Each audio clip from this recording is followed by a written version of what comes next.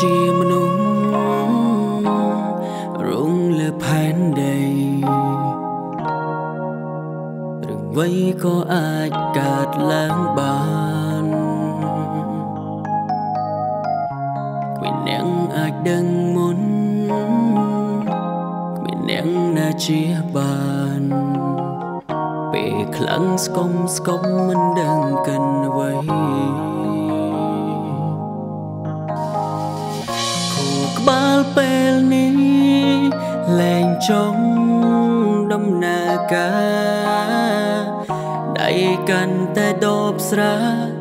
លែងខ្វល់ពីខ្លួនឯង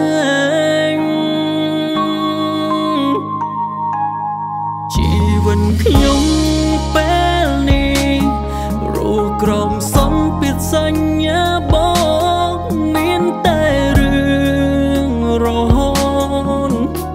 មិនចេញចប់រឿងគ្រួសារបោកស្នេហាមិនភ័យ វិតខ្ញុំពេល